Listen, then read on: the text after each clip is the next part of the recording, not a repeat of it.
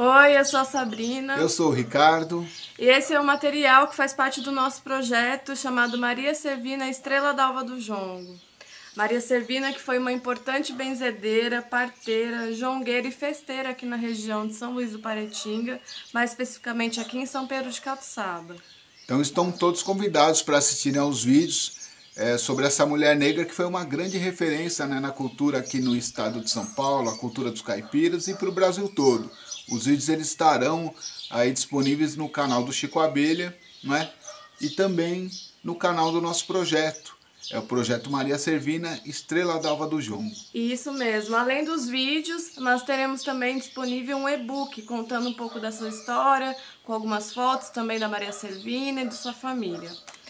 Então, boa leitura e bons vídeos aí para vocês. Obrigada, gente. Um beijo.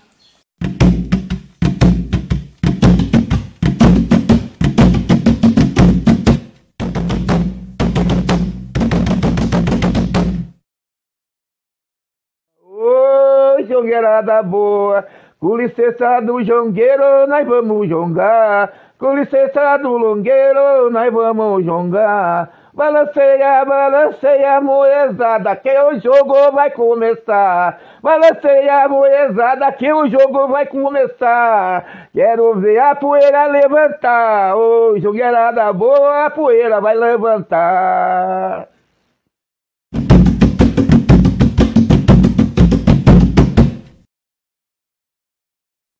Ah, eu não, umas histórias que contavam para nós, eu era nem novo, nem criançado ainda, mas era novo, mas era o tio Gustinho lá do Santana, que ele, ele era, ele já era libertado, mas ele era, era filho de escravo.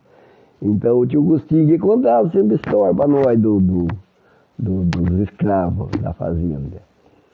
Cantoria do Brão mesmo, tem muita história que ele contava para nós. Conta pra gente essas histórias, senhor. O senhor lembra de alguma? Então, a da, da cantoria do Brão é a história dele. Do, do Brão, primeiro que cantava era só os escravos mesmo. Aí eles cantavam lá nas colheitas de café, lá do senhor. Eles saíam e ia lá nesse lugar da, na limpeza de café, eles cantavam, mas cantavam baixinho, porque se o senhor ouvisse, batia, né? Então eles cantavam baixinho a cantoria do Brão. E eles faziam a linha deles lá na colheita de café. E eles cantavam baixinho. Aí daí depois que libertou os escravos, que os brancos começaram a aprender também. E, e esparramou, os brancos aprenderam também, mas antes quem cantava o branco era só os escravos. Porra. Já terminou, eita, já estamos tudo cansado,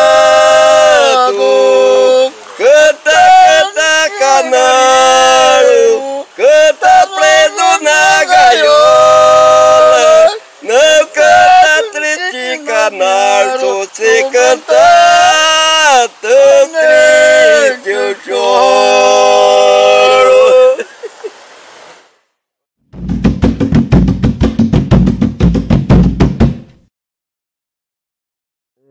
Esse é, esse é uma história do, dos escravos lá na Fazenda Santana. Tem um lugar lá que eles cantavam, que eles cantavam o Pemba, que é, é parte de jungo. Naquela época eles sabiam muito parte de feitiçaria também. E, e, eles dançavam em roda lá no, no, no, lugar que eles dançavam lá. Tem o sinal até agora, fundo assim, é onde eles faziam a roda assim. Então eles fugiam do senhor à noite e ia lá para dançar o Pemba. Aí ele batia o tambor lá, mas eu não bati muito alto para não fazer muito barulho, né? E dançava o pembo ali em roda. Eu acho que o pembo que eles fazem deve ser com som de jongo mesmo, né? Porque esse eu nunca vi, porque não é do meu tempo, mas, mas falam que eles dançavam o pembo, ali eles treinavam, de certo é a parte do jongo mesmo, né?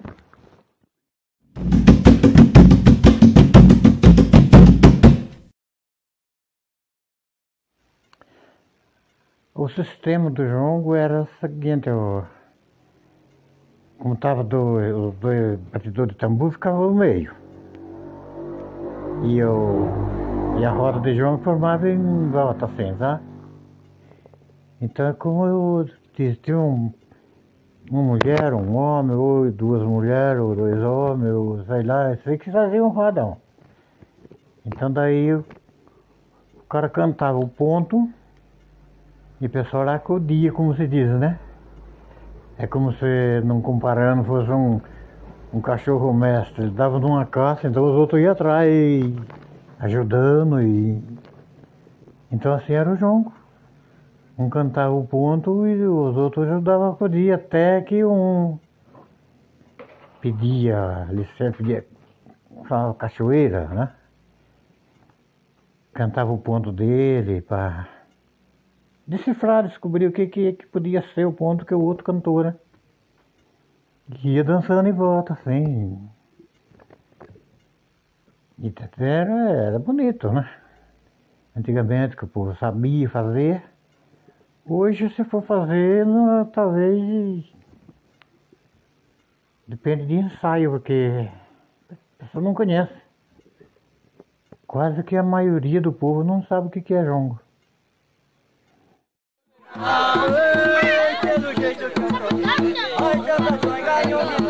Que também chegou São Pedro da rezando a sua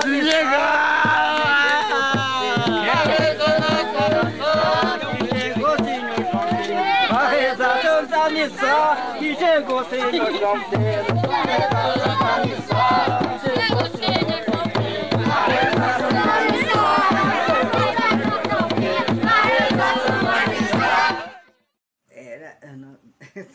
até, até ficava engraçado, né? Que eles batiam aquelas palmas, sabe? Saía assim roda da fogueira. E era assim um tipo um desafio, um desafiando o outro. Era, era assim, um desafiando o outro.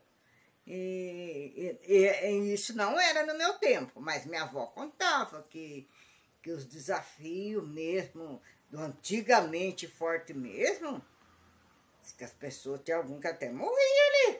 É, a avó contava depois. A avó contava. A roda de jongo, por exemplo, que nem, o, que nem uma dança caranguejo. O, o, aque- aquele, o, o jongueiro mesmo que, que, que põe, põe a linha do jongo, ele põe a linha e canta o verso e a gente vai, vai a, apoio, apoiando aquelas, aquelas vozes, né? Tudo cantando, tudo junto. Mas só que é o, os dois do, jongo, os dois mestres, por exemplo, do jongo, eles põem o verso, põem o verso e a gente vai ajudando e vão, vai fazendo, vai rodando. Rodando em roda fogueira.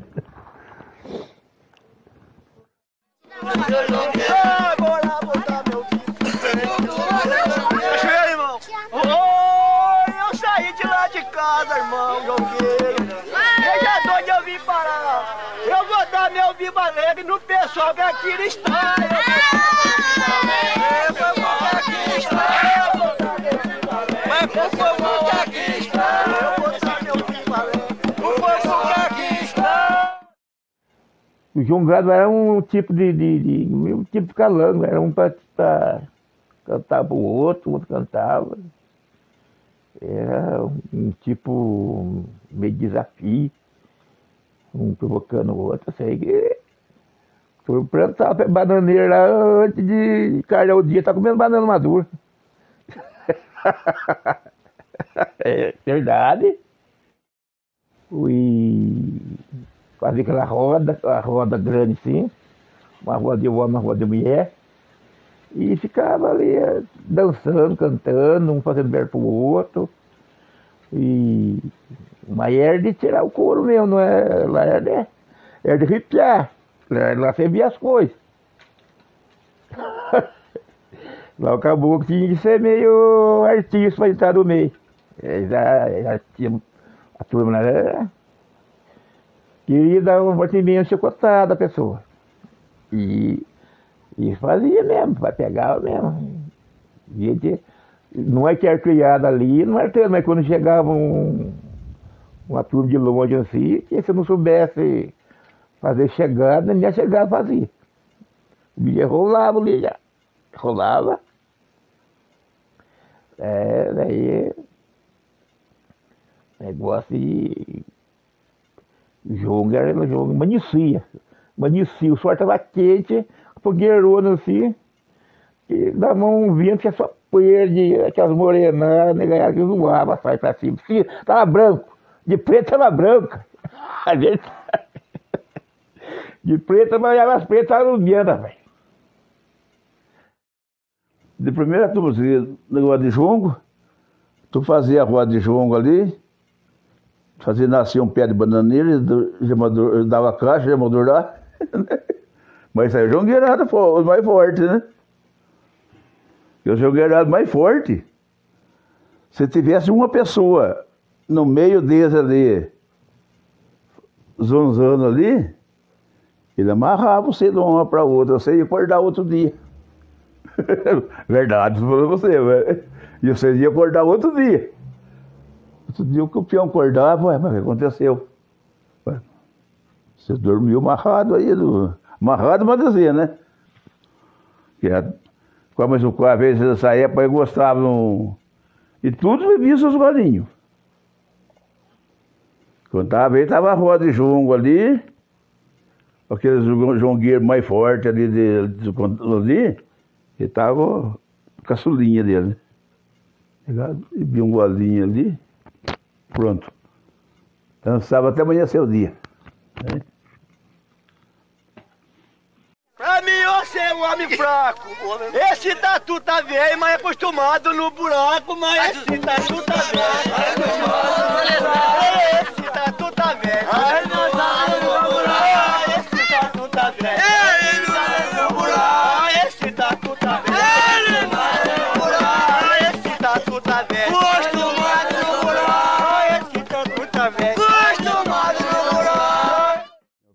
eu curti essas perguntas.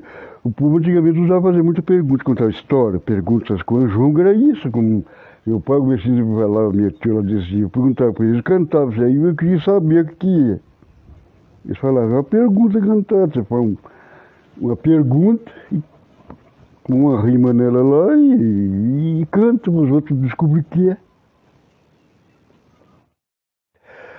Ah, eu cheguei a ver pouco, esses mais velhos viram mais, porque o João eles pegavam assim, então estava aquela fogueira assim. É, aquela hora que eu perguntava, meu pai entendia ele pensava, o João, eles cantavam aquilo lá, mas tinha que ser inteligente mesmo, sabe por quê? A pessoa às vezes estava aqui, eu vi contar, eu parava para ouvir, a pessoa estava lá de Cunha. Tinha uma festa aqui em Catsaba, ele, ele fazia um ponto, ele falava ponto. Ele estudava, vinha e cantava aqui, a turma tinha que desatar. Eu juntava aquela turma tudo lá e fazia, cantava aquela, aquela linha ali dele e tinha o refrão. E a turma desatava no rezia, no refrão. Quando outro desatava que conseguia descobrir o que que era, ele mandava parar, daí cantava dele desatando, desenrolando aquilo. Uma coisa, um, vamos desatando aquela pergunta, respondendo aquela pergunta. Era assim, mas ele contava coisa lá que assim, não, não sei como imaginar como que era. O cara vinha de lá falar uma coisa lá, que ele viu ele lá, ele cantava aqui, como é que eu descobri? Como um dia eu estava vendo um senhor de Catsaba, ele já morreu há muito tempo. Ele é tio de um. É por parte da minha mãe, é a família dele ali. Então ele estava contando que eles andavam só eles andavam procurando inspiração para cantar. Então tinha uma festa, sabe? E tinha um homem que era jongueiro. Eles iam levar carga em Ubatuba, Ubatuba no lombo de burro para vender a mercadoria aqui, que sabe. E descalço, o povo é descalço. Chegou no alto da serra lá, que ele estava uma ferragem aterrada no, no chão, ele deu uma topada, arrebentou a cabeça do dedo. Ele só pegou, tirou a ferragem assim do, do, do chão, marrou num barbão, põe na cintura e falou assim. Eu arrumei uma ponte de jongo para lá para festa caçaba lá. E ai, sim se vocês contar. E vocês não digam para ninguém. Se vocês contar, vocês apanham. E esse cara era meu amigo de respeito. Chegou ali, ele cantou. Ele vai ficar prestando atenção no que, que ele dizer. Ele cantou lá, falando um, ponhando um. Quer dizer que no, no dia naquele negócio que fala lá do. Fala, ele cantou um ponto lá dizendo assim. o refrão dele dizendo, eu carrego o peso com dor. E a povo até desatar e cantar, desenrolar aquilo lá e canta. Eu carrego o peso com dor, daí chegou a hora que eu, que o avô desse cunhado João Servino era tal de Chico Perpétuo. E até enrolou de homem, estava tarde e a turma não desatava. Chico Perpétuo chegou mais tarde lá, que deitou na fogueira, igual lagarto. Aquele brasito que ele deitou aqui, deu três, passou por baixo da brasa, por lá, veio lá e retornou de novo, daí cantou e falou, joga a ferragem pra cima. Aí, como é que pode uma coisa dessa? Eles faziam coisa estranha. Tem muita gente lá que a gente já morreu, Lagoinha, essas festas lá, que dizia coisa que era de arrepiar, né? Que vocês mais vêm contar. Muitos dias já, já se foram.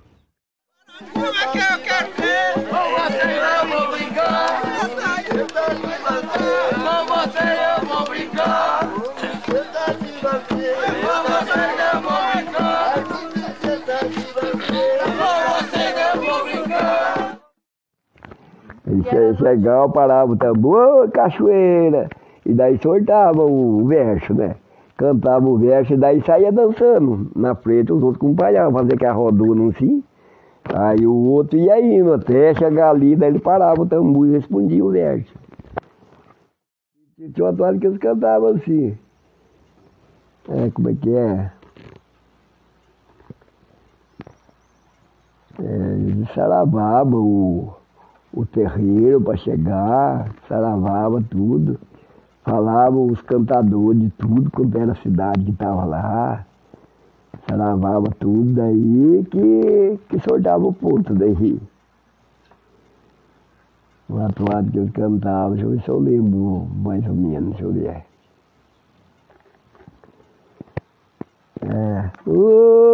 Jongueirada boa de que do chapéu, gente. Oi, jongueirada boa que veio de todo lugar. Oi, saravá, irmão. Essa jongada é muito boa, os cantadores é muito bom. Jongueiro que veio de Cunha, que veio de Taubaté. Oi, jongueirada. Mas tem uma coisa, eu tenho um boi, esse boi da estimação. Eu não empresto e não vendo e não arrumo pra ninguém. A herdada minha é muito grande, o estado de São Paulo é uma herdada minha, gente. Oi, mas eu não sei o que meu boi tem, que olhar no casco que chora, eu não sei que meu boi tem. Que olhar no casco que chora, eu não sei que meu boi tem. Que olhar no casco que chora, eu não sei que meu boi tem. Então lembra essa to- toada, o pontinho do jogo que eles cantaram. A galinha tá cismando, quero a minha galinha que tá chocando, quero ver a minha galinha. E ela tá chocando, quero ver a minha galinha. Que ela tá chocando, quero ver minha galinha. Ela tá chocando, ver minha galinha. Que ela tá chocando, quero ver minha galinha. Que ela tá chocando, quero ver minha galinha. Que ela tá chocando, quero ver minha galinha. Que ela tá chocando, quero ver minha galinha. Que ela tá chocando. É que nem o Brão, o Brão é linha e o jogo é ponto. Então eles tinham que descobrir o ponto, o que, que o boi tinha que olhava no casquichó. E o que, que esse boi tinha, seu Renan? É, com o boi tinha que esse boi, o depois foi descobrido o ponto. O boi era da estimação e o boi era o era o touro da, da fazenda, né? E daí o touro ficou velho, já estava pesado, já também. Eles castraram o boi e venderam o corte. Aí, o- aí ele olhava no casco e chorava. Aí esse ponto aí, eles cantaram muito tempo para descobrir. Foi muito tempo para descobrir esse ponto. Daí o boi olhava no casco e chorava, porque coitado dele. Já estava velho, castraram eles, foi. Sabia que ele ia morrer, que ia vender no corte, né? Então ele chorava. Era a noite toda, amanhecia. Aí quando o ponto não saía, até o sol estava esquentando, eles estavam batendo o tambor ainda. E o pessoal ficava amarrado no ponto de jongo? É, ficava amarrado. Ficava amarrado e ali eles cantavam também, saía uma pinga ali, um tinha medo de beber, o outro bebia. E, e tinha cantador que às vezes dormia ali, rodando da fogueira ali. Bebia a pinga ali, não fazia a roda ali, dormia. Cantoria é quase um tipo do. É, um, é quase um tipo de um, de desafio mesmo. Porque ali, ali eles, eles batiam o tambor, falavam cachoeira, e daí fazia o vejo, o vejo, que nem o consoante, isso aqui é um consoante com uma linha de brão, né? Para quem entende de, de linha de, de brão, quem entende, põe a linha do brão, porque cantar brão é fácil. Mas a linha que é difícil, né? Até que a linha não é difícil, difícil é desatar a linha. desatar a linha do brão. Muito bonita, muito bonita, mas tem muita variz na perna.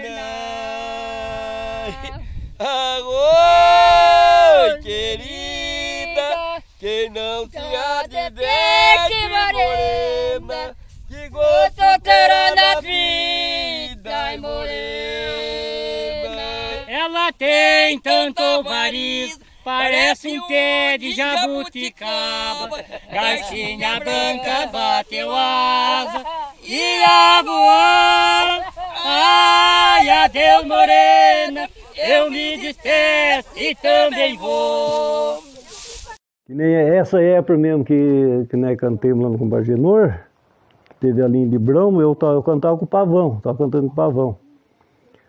Daí puseram esse essa asfalto aí com uma cobra, uma cobra braba. E pra gente desatar isso aí. Daí na hora do almoço foi descendo, todo mundo um, um achava que era a, filma, a filmadeira, né, que estava filmando que fosse a cobra. Outro, se essas coisas, diz que ela vinha, vinha, vinha vindo de lá para cá e, e vinha atacando, né? Por, daí, por aí vai. Daí um, um, essa coisa, um, um, achava que era essas luzes, luz elétrica.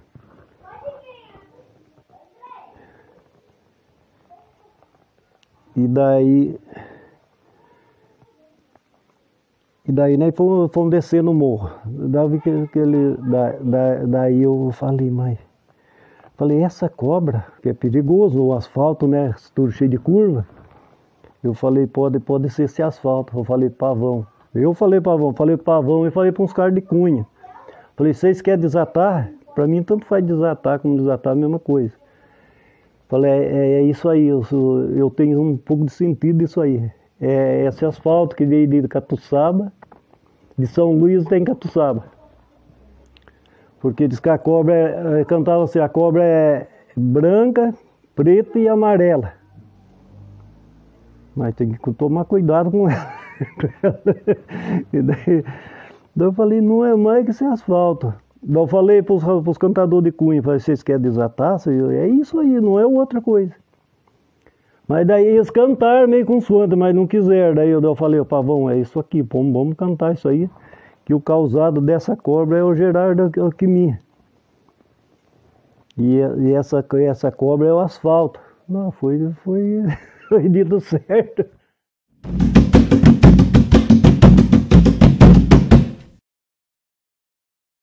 A dança do João era sobre a batida do tambor. O jeito que batia o tambor, ele acompanhava a dança, de, fazia a roda assim na fogueira. Por exemplo, a fogueira era aqui, que é dessa mesa. Eles faziam a roda, homem e mulher que entrasse na dança, fazia aquela rodona assim e ia dançando. Agora, agora o qual cantava o ponto, a obrigação era dar uma volta para daí chegar, para parar o tambor. Dava o, o, eu cantava o, o meu verso do, do jongo, eu tinha que dar aquela volta dançando e saravando o jogo até chegar, dar a volta para chegar no tambu para parar. E a regra do jogo era assim, antigamente. Agora, o povo que canta agora, um canta, outro já responde, outro já responde, vai fazendo a voz, nem não chega no tambor, gente. É, nós fazia a roda, né? É de roda. Fazia a roda, meio dançando, meio, meio pulado. E até uma, fazia a minha roda, voltava de novo. Agora fazia uma. As mulheres por dentro, os homens por fora. Depois chegava lá, os homens por dentro, as mulheres por fora. É o tipo da. Um tipo, meio tipo uma, roda de quadrilha. Tipo uma roda de quadrilha. Não era bagunçado assim de.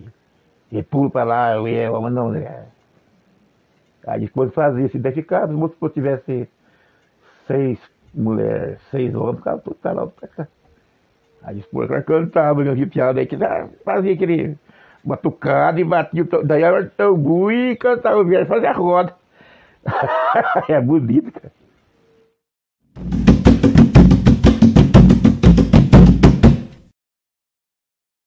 Tirava verso, verso, mais que mulher tinha mais que os homens. Ô, tinha mais Servina, a dona Orlando, era perigosa, o liço.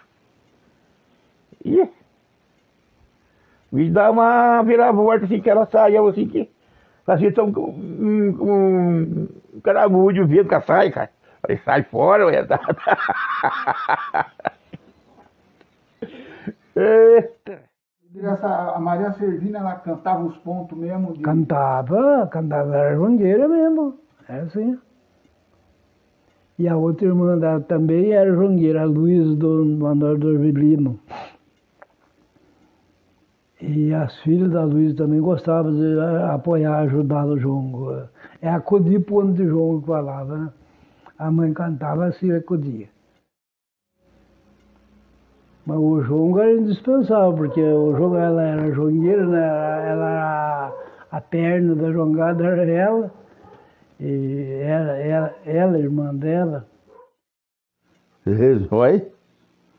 E era jongueira, jongueira de mão cheia ainda. É.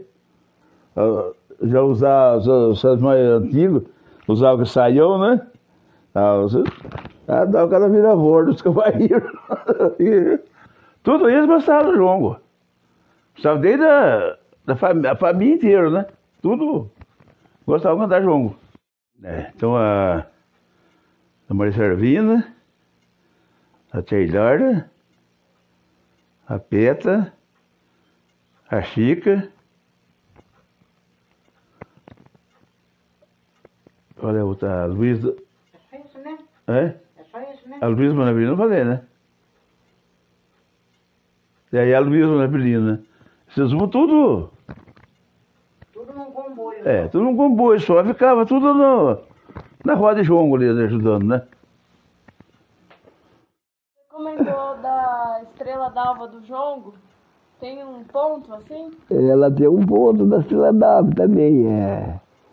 É, mas eu não lembro bem o jeito que eles cantavam, não lembro mais muito bem, mas sei que a Estrela d'Água é cantada, que a, a Estrela d'Água quando ponta, a lua clareia. Mas é, não sei o que que tinha que a Estrela d'Água com a lua não aparelha. ela acompanhava, mas não aparelha, porque ela fica sempre a distância da lua, né? E era a estrela d'árvore, era ela, né? Que era a estrela d'árvore. Aí cantaram o ponto, cantaram o ponto, até foi indo que tiraram o ponto.